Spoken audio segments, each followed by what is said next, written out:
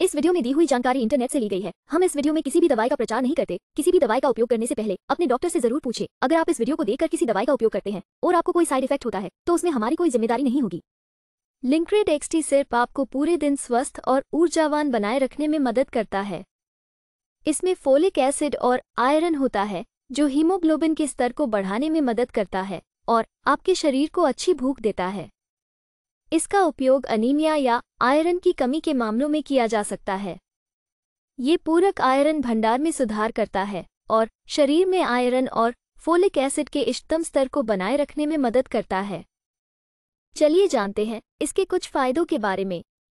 एक फेरस एस्कोबैट और folic acid का संयोजन स्वस्थ लाल रक्त कोशिकाओं के उत्पादन में योगदान देता है, इष्टतम हीमोग्लोबिन स्तर का समर्थन करता है।